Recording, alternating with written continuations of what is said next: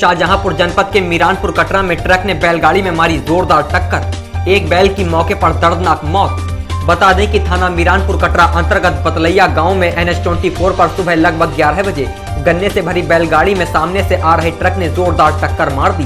टक्कर लगने से बैलगाड़ी के एक बैल की मौके पर ही दर्दनाक मौत हो गई, जबकि चालक ने बैलगाड़ी पर से कूदकर अपनी जान बचा ली।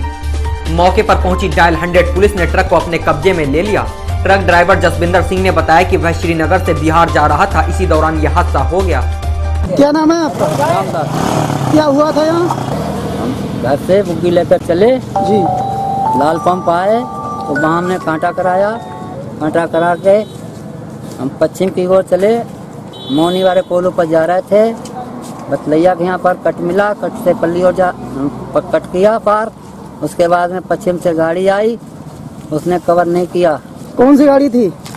ट्रक था ट्रक। किया हमने गाड़ी देखकर हम लोग फलांग गए अपनी जान बचाकर फलांग गए बैल एक बैल खत्म हो गया और गाड़ी बुरी तरह से वो भी टूट गई। ट्रक इस वक्त कहाँ है? कटरा ले गया कौन ले गया? ड्राइवर। पुलिस वाले ले गए थाने पुलिस थी? नंबर है नंबर। क्या नाम है आपका? पुष्पेंद्र सिंह। ये गाड़ी आपकी है? ड्राइवर थे आप? ड्राइवर थे। ये हादसा कैसे हुआ था? हादसा आपको बताया कि मैं इधर सीधे ही आ रहा था अपनी तरफ़ से। जी। इधर से दूसरी साइड से बैल निकला। हाँ। बैल ने घुसाते घुसाते आगे कर दिया। एकदम मेरी मेरी गाड़ी एकदम ऊपर चली गई उससे।